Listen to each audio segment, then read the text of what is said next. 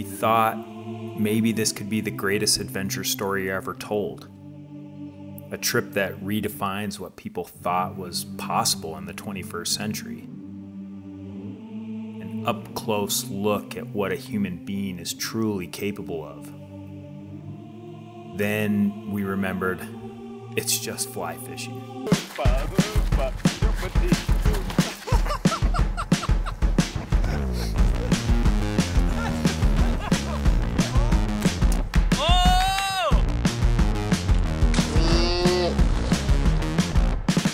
Another big adventure. This time I'm only taking real pros though. Guys with a resume, you know.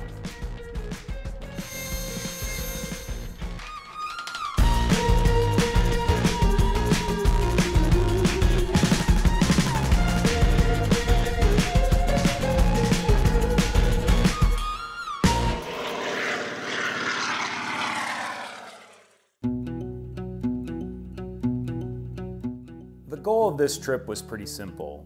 We wanted to use the pack rafts as a tool to find genuine solitude and genuine adventure on a very remote river system, much of which is inaccessible to larger rafts.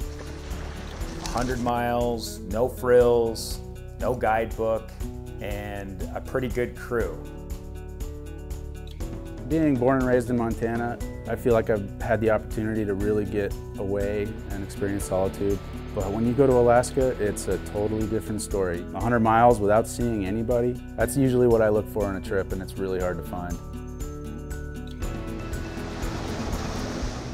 When you set out on a 100 mile trip, you really have no idea what's in front of you or what each day is going to bring. But for us, that first couple days was just stunning. I mean, we saw a ton of wildlife, beautiful scenery.